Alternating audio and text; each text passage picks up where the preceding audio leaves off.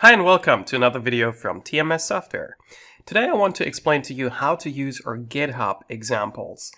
Back in the past, if you downloaded one of the components from TMS or also if you looked at other examples like blog posts, there was always a zip archive attached to it where you could download the source code. Nowadays, this has changed a bit. People use GitHub because GitHub allows you to build source repositories, and if you make them public, which kind of is the idea for examples, you can have as many repositories for free on GitHub as you want to.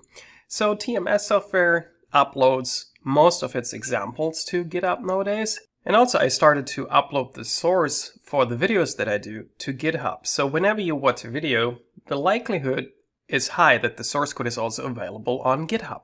However, here comes the kicker. A lot of people don't know that you can directly open these projects in Delphi.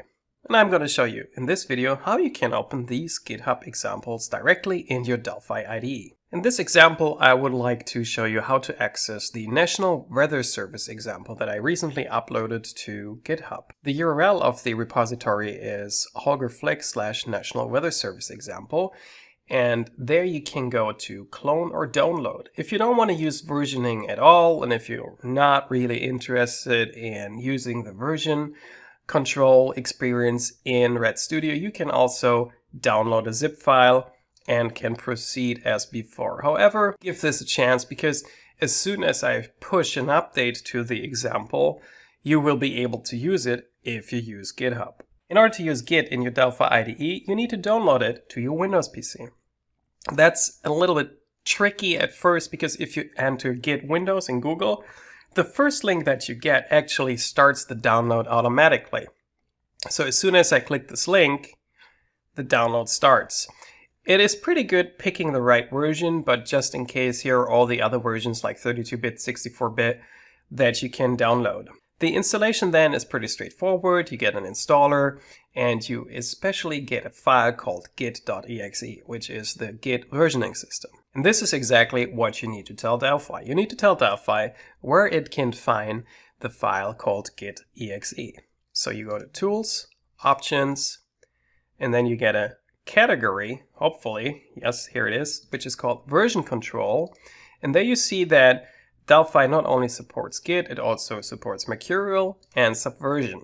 In order to use Git, you need to provide the git.exe file. So my git.exe file is in C program files git mingw64bin git.exe. For authorization, I provide my username and my email address. This is only interesting if you plan to actually contribute to a repository. However, in order to download it, the um, Git versioning system also needs this information. So if you don't provide it, you might not be able to download any source repositories, even though you do not want to contribute. So that's it. You click Save. And then you can use the menu file open from version control. As a next step, of course, Delphi needs to know which versioning system you want to use. We want to use Git. You select OK. And this is where the URL of the repository comes in. However, this is not this URL. It is this URL that you can copy using this link. So basically you have to access the repository and not the web page that is generated based on the repository. So copying this here, and then of course you need to provide a destination. Okay, and as the repository is stored on GitHub, GitHub needs to know who you are. So you can't download anonymously. You have to provide your username and your password. And in order to get a username and a password, which I can only emphasize this, this is going to be free as long as you don't create any repositories that are only private. And even there's a certain number of private repositories with a certain number of contributors that you can have for free. However, you need to create an account. And you can do that going to github.com, sign up for GitHub, and then you're going to get a username and a password. So you specify the username and the password.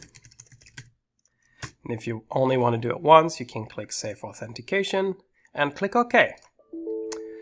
And then I got this wonderful error message. Remote repository has not been initialized. And I'm 100% certain, and you can be certain, that I did initialize the remote repository.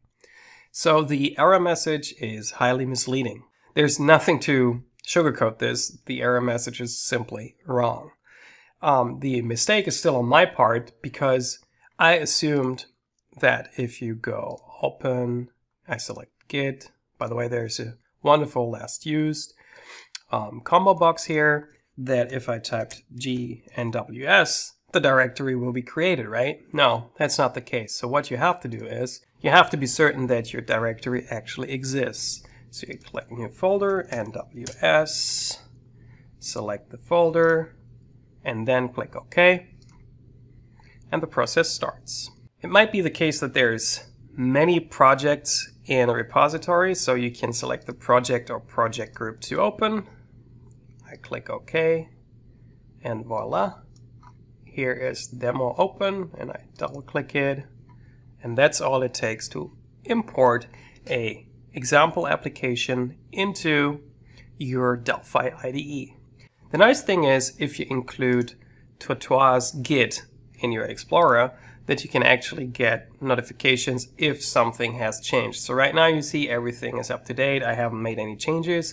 However, if there were any changes, I could simply right click this folder and I would say git sync in order to basically make sure that I have the newest release of the example on my hard disk. So this makes working with examples, especially if there's new versions of a component pack, very easy. Hopefully, whenever there is a mention of GitHub repositories in one of the future videos, you won't hesitate to use the version control integration in Delphi instead of simply downloading the zip file.